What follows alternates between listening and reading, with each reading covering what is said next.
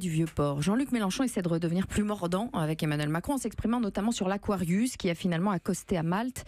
La France accueillera 18 des 58 migrants. Une solution européenne a donc euh, bien été trouvée. Est-ce que vous reconnaissez au moins ce mérite à Emmanuel Macron? Non, on voit bien, y compris dans le temps que ça a pris, que euh, ici l'Europe qui protège, c'est l'Europe qui se défausse. Moi, je vois mal comment l'Union européenne, qui est capable d'imposer à 27 États membres la politique libérale, ne pourrait pas se coordonner véritablement sur l'accueil.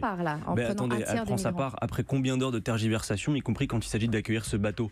Enfin, il faut le rappeler à votre micro, hein, l'Aquarius, ce n'est pas un bateau de croisière, d'accord? Et quand il y a 58 personnes à son bord qui sont des naufragés, c'est-à-dire des gens qui ont, qui ont risqué de se noyer, la Méditerranée est devenue un véritable cimetière. Depuis le début de l'année, c'est 1600 personnes qui y sont mortes. Et depuis 2014, 17 000. Donc nous, ce que nous disons est clair. Quand des gens traversent la mer Méditerranée au péril de leur vie, on ne se pose pas la question de savoir si on les accueille ou pas. On le fait. Et la France se serait honorée de le faire. Bien Donc évidemment, la France aurait dû accueillir tous les migrants Mais oui, non, attendez. La, la, France doit organiser les conditions de l'accueil de celles et ceux qui se présentent à ses portes, euh, en l'occurrence, dans des situations dramatiques. Pour autant, une fois que je vous ai dit ça, Audrey Caspomara, moi je ne fais pas d'angélisme en la matière. Nous avons euh, nos pays ont des responsabilités dans les causes profondes qui font que les pays d'origine, les régions d'origine sont invivables. Les guerres, le changement climatique, les accords commerciaux inégaux. Il va donc bien falloir se poser la question de savoir comment on, on endigue ces causes. Parce que d'ici à 2050, si par exemple on n'endigue pas le changement climatique, ce ne sont pas 58 personnes qui vont arriver sur l'Aquarius, puisque 250 millions de personnes